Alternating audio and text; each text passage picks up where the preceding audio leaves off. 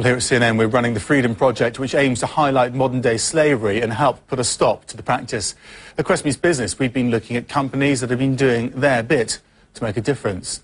One of those is The Body Shop, whose late founder, Anita Roddick, started the Stop Sex Trafficking of Children petition. The petition was handed to the UN last month.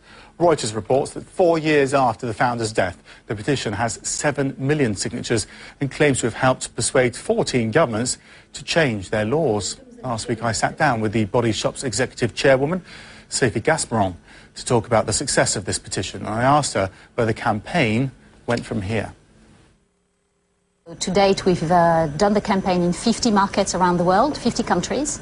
We've taken the petition to 34 and 15 governments have already committed to take action or already taken action. So we're us- going to continue to do that. Give us an example of type of actions that you've seen take place as a result of the campaign. Uh, it can be uh, the creation of a dedicated helpline for victims of trafficking, which is free and advertised throughout the country.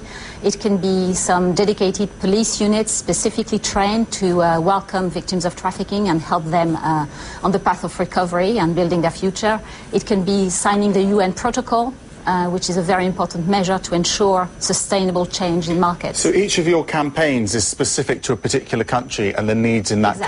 country. That's what makes this campaign particularly successful. And your proudest achievement? Probably the first country which committed to take a significant action, which was Malta. Yeah, Uh, and then exactly the rest a year followed. Ago, and then the rest followed.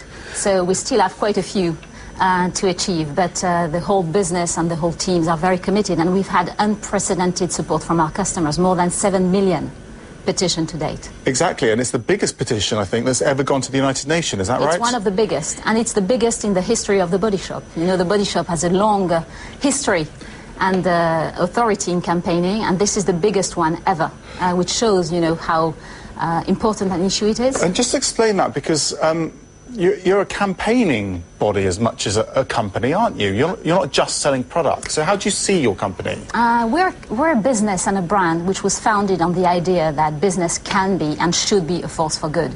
So uh, we sell fantastic beauty products, very high quality beauty But products. that's only part of the business. That's part of the brand. At the same time, we believe in our business as a force for good, whether it is about environmental change or social change.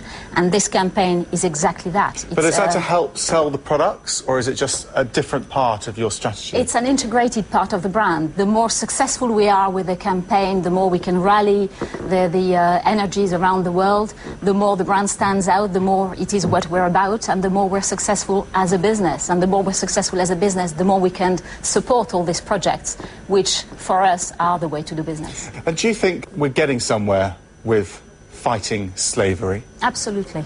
I, I believe that we're absolutely making progress. Our whole idea in picking that theme for the campaign was that it was a very challenging topic, a very uncomfortable issue, a global issue, the third biggest criminal industry in the world and raising fast. But we believe that we could do something about it, and not only about raising awareness or raising funds to alleviate the suffering on the ground, which we've done, of course, but also about changing things in a sustainable way by changing the, the structural way this problem is addressed, market by market. It really is something that we can change, though, isn't it? Because it seems that everyone is agreed that it's a bad thing, generally speaking. It's just it exists because of all these different problems everywhere, and no one really Yes, taking responsibility absolutely. for it. It's a very challenging issue, but this is why, precisely, this is why we chose not to do a campaign that would only be against a topic, but very concretely focused on what actions, what are the one, two, or three key actions that governments can take in each market to change the situation.